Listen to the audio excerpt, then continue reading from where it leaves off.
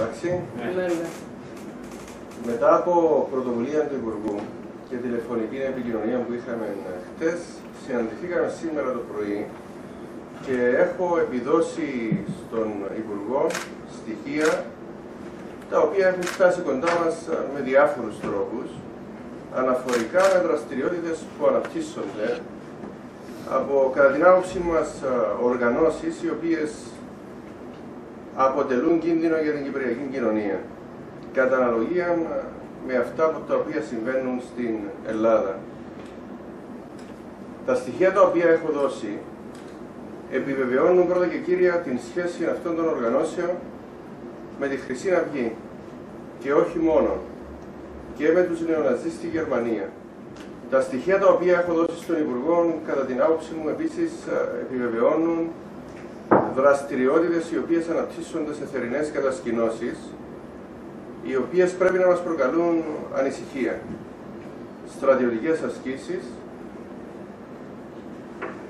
τις οποίες κατά την άποψη μου κανένας φυσιολογικός άνθρωπος, εάν δεν είχε κάποιους άλλους στόχους και προθέσεις, δεν θα έκανε κατά τη διάρκεια των θερινών κατασκηνώσεων.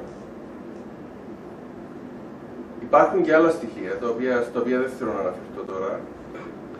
Θέλω να καταλήξω λέγοντας ότι όσα και ανησυχούμε από το πώς αναπτύσσονται στον τόπο μας ακραίες οργανώσεις, φασιστικές, ρατσιστικές, ξενοφοβικές, και θεωρούμε ότι είναι υποχρέωση ολόκληρης της κοινωνίας να αντιταχθεί με αυτές τις ακραίες καταστάσεις. Είχα πει από το 2010 και μετά σε επανελειμμένες περιπτώσεις δημόσια και είχα λιδωρηθεί για τα, γιατί τα έλεγα. Μάλιστα κάποιοι μου έλεγαν ότι κυνηγάς φαντάσματα, τέτοια πράγματα δεν υπάρχουν στην Κύπρο. Είχα πει ότι κάποιοι ευκαιριακά με σκοπιμότητες, για λόγους ψηφοθερικούς αν θέλετε, για λόγους πολιτικών σκοπιμοτήτων, εστήριζαν αυτές τις ακραίες καταστάσεις και λυπούμε να πω ότι ανάμεσα σε αυτούς και ο προκαθήμενος της Εκκλησίας.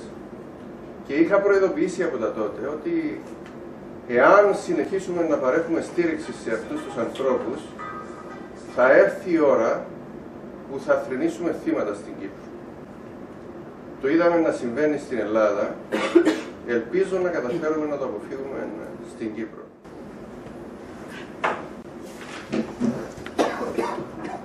Έχω ζητήσει χθες ε, να γίνει αυτή η συνάντηση με τον κύριο Κυπριανού για να παραδοθούν όλα εκείνα τα στοιχεία τα οποία ο ίδιος αναφέρθηκε.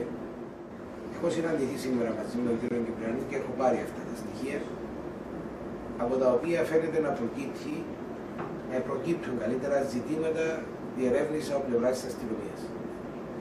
Δεν μπορώ να πω ότι αυτό αποτελεί αποδεικτικό υλικό για να οδηγηθεί κάποιος στο δικαστήριο.